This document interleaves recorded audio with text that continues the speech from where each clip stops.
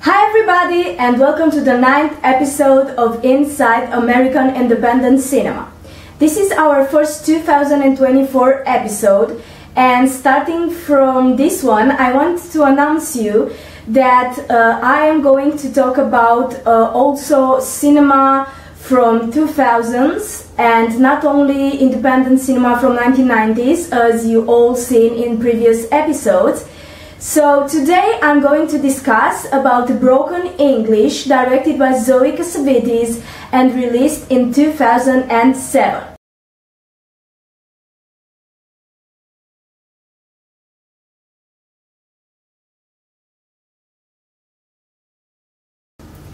Broken English tells the story of Nora, who is a single woman in her 30s, played by Parker Posey. Nora is unsatisfied with her life and stuck in an inconvenient job that does not represent nor her nor her personality. She tries to find meaning in her meaningless life by having different interactions with people. She likes to be surrounded by people and tries to understand her interactions in every relationships that she has. Her most intimate discussions are taking part with her mother, Vivian, played by Gena Rowlands, and her best friend and confidant, Audrey. She tries to find everything she wants, even in the most peculiar things, like having a one night stand with an actor, regardless of the consequences that she will have to face the other day.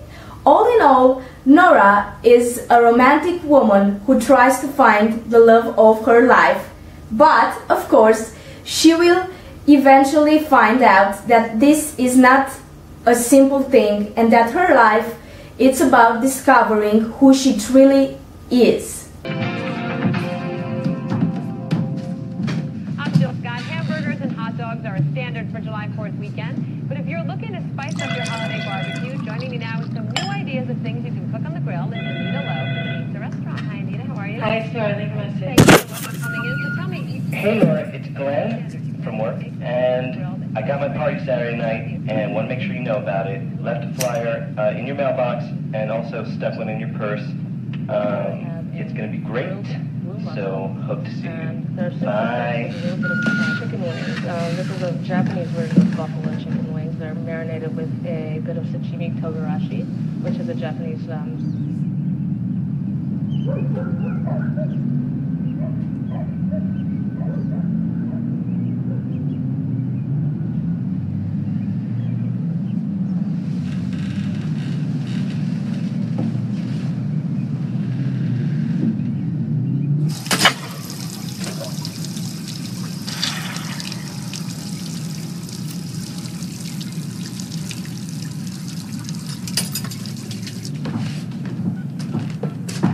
Hey Nora, it's Glenn. I think I called you already. I'm not sure because I'm just taking a head count.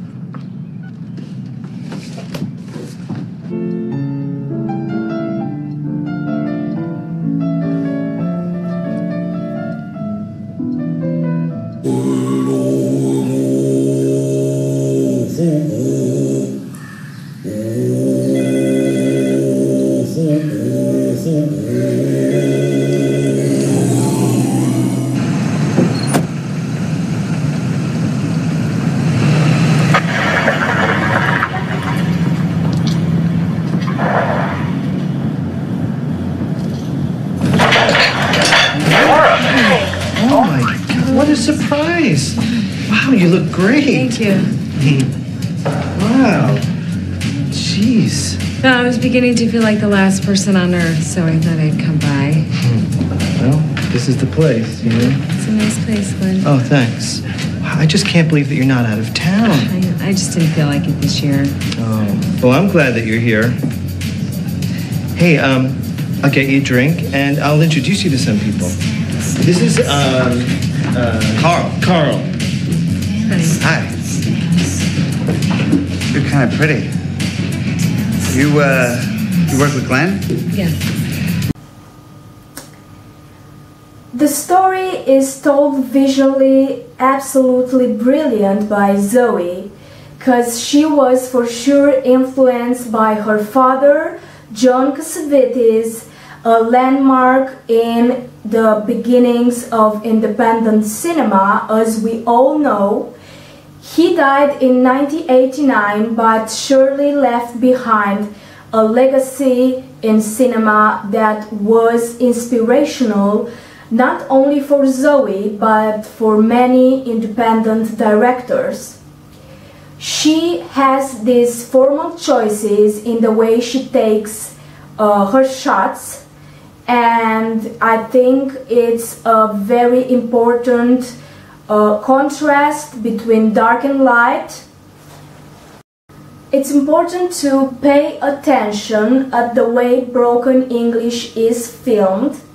We can see many scenes that are filmed inside rooms that at the first look uh, seem to be crowded and this is a choice that reminds us of at least two important movies from John Cassavetes' filmography. I am thinking about Faces 1968, which really changed the face of cinema during those years, and of course Love Streams 1984 uh, which is uh, about two uh, lost souls, two captors that try to heal their wounds and heal each other. And I think uh, this um, uh, light and dark contrast comes to represent inside and outside a character.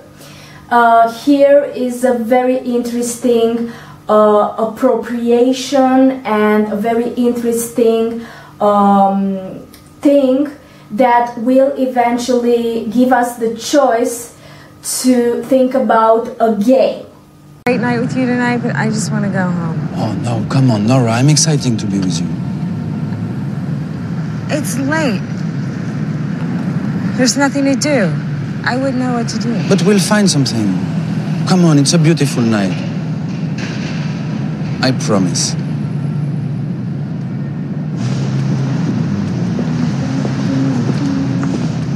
What do you want to do? Where do you want to go? We're in here. Here? out of my heart. Oh, no, no, great. The only transmutation of the sound of flowers. Try to get beside you, can't see my footsteps.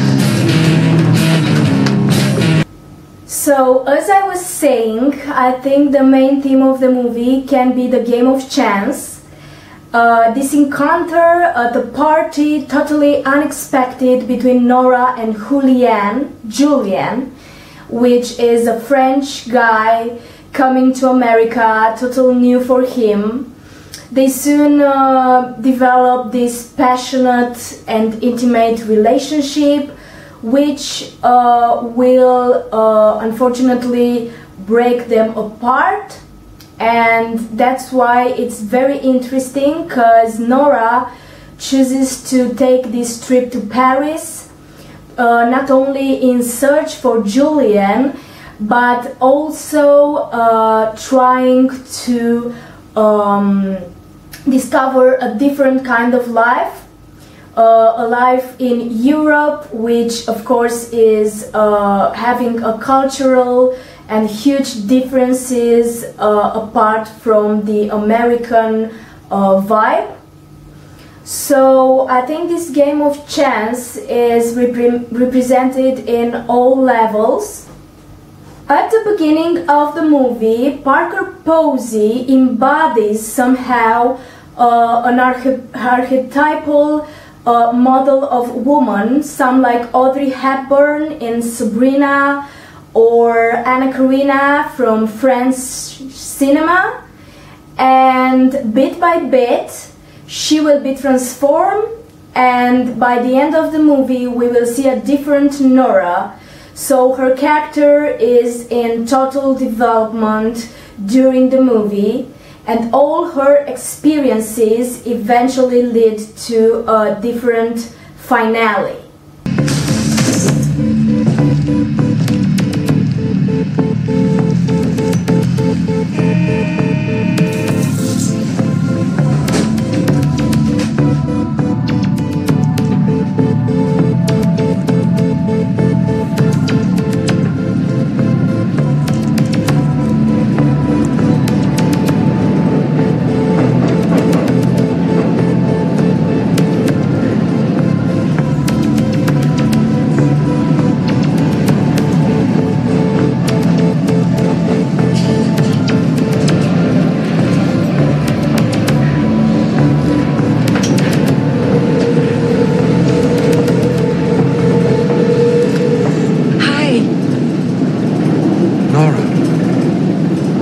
Believe it. What are you doing here? well, I'm, I'm going to a sound expo at Le Bourget. But what are you doing here? I'm, I'm going to the airport.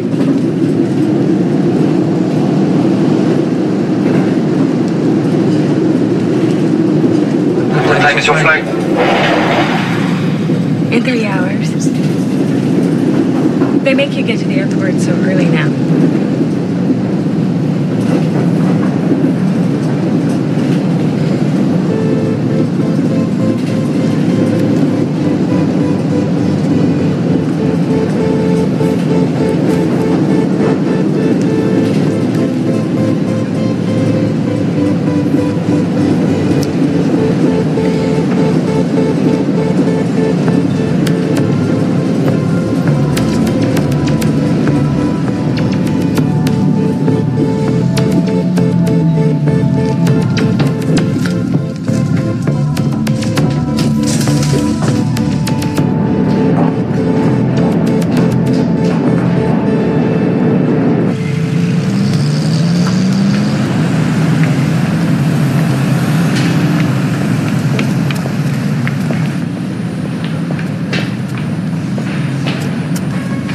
Bonjour, dames. Bonjour. Possible d'avoir deux bières, vous plaît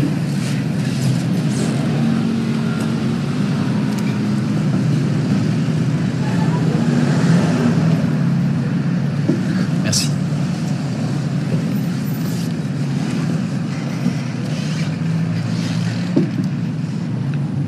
Okay, I just want to ask what you are doing here. Did you come to see me? Because I don't understand. I like you so much, and I never hear anything from you. And then you are just here in front of me now. Why? It's really complicated. Okay, but try, to explain. I came here to find you. Then I lost your number. You came here to see me. And you never find me. Then you find me. And now you leave.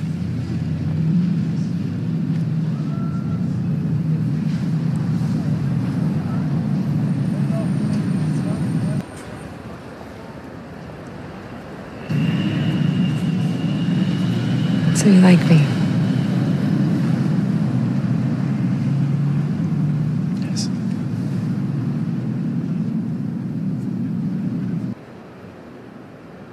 Stay with me for another drink?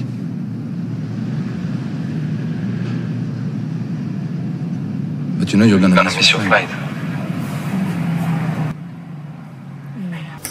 Thanks for watching my episode and because uh, we are very close to Valentine's Day, I want to wish you all a happy Valentine's Day. And don't forget that cinema is a place where directors represent different kind of love stories and of course don't forget that love is closer than you think it is.